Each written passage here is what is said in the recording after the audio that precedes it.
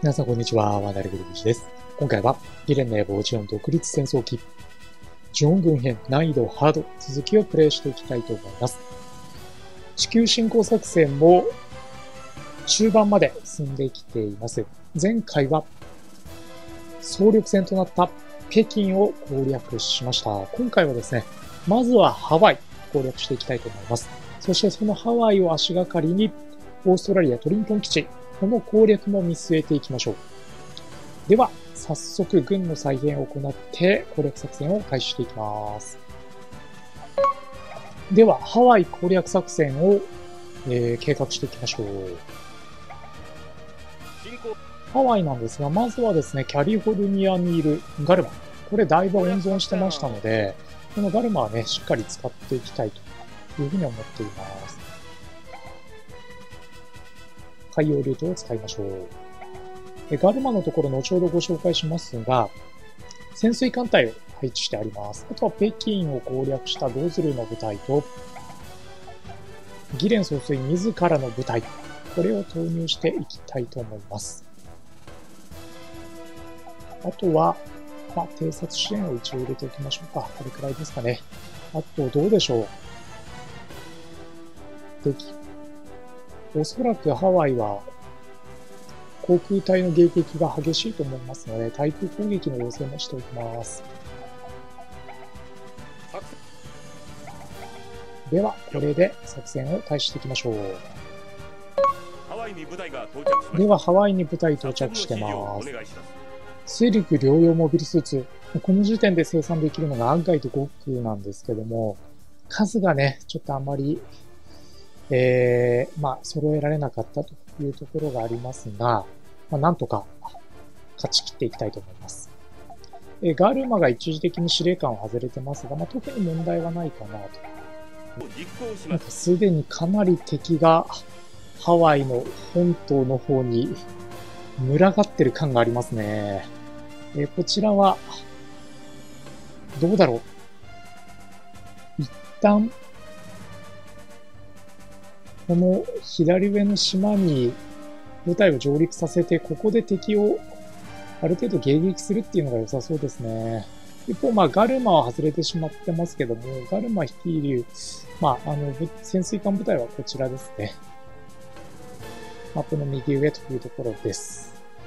敵の方ですが、まあ、ガンタンク、あとは、まあ、デブロックや、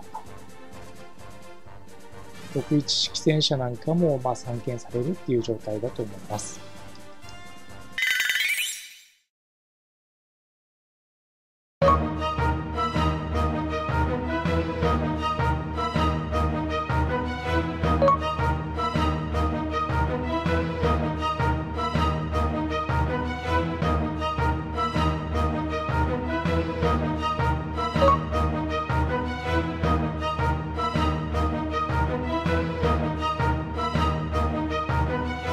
では敵が全然仕掛けてこないので、えー、元々の作戦とはちょっと違いますが、こちらから上陸作戦を思い切って仕掛けていきたいと思います。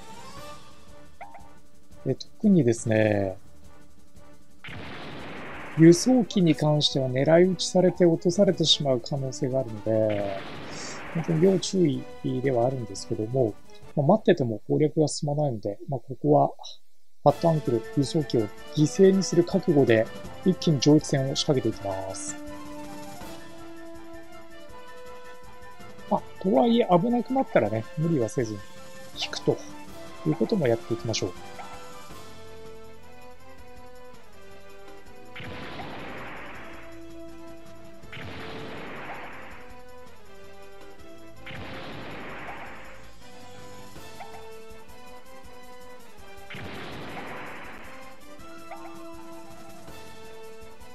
ダムタイプがいましたね、今ね。マッドアングラーが沈められると相当な痛手になるので、マッドアングラーは沈められないようにちょっと気をつけたいですね。あとは、えー、ガルマのいないガルマ部隊が上陸に成功しましたね。これは大きいな。一気に敵部隊をこちらに引きつけるまあ、絶好のチャンスが来たと考えたいと思います。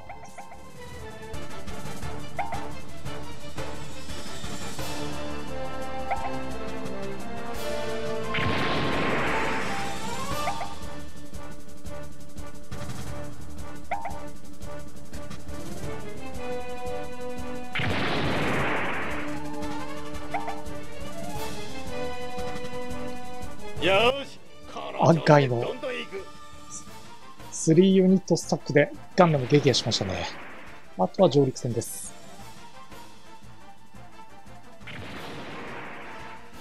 まだあまり上陸できてないので、えー、敵のね、迎撃によって、特にファットアンクル、撃墜される恐れがあるっていうのと、ガウが落とされるとかなり痛いので、まあ、そのあたりね、しっかりケアをして進めていきたいと思います。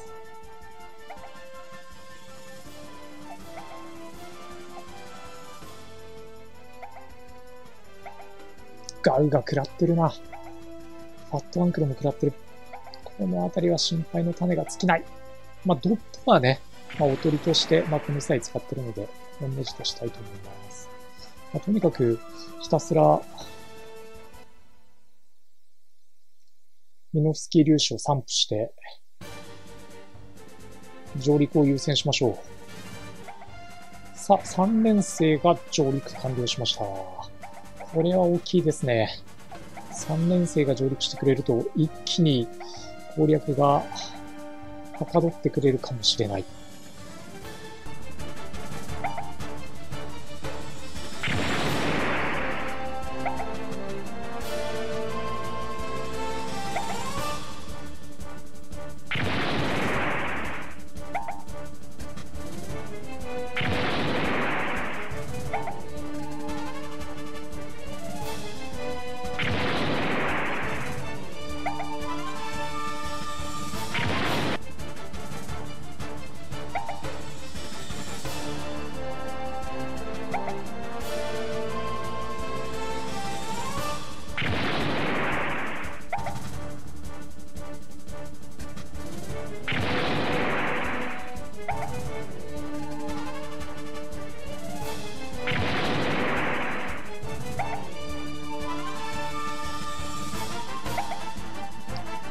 ランバラル隊も上陸しましたね。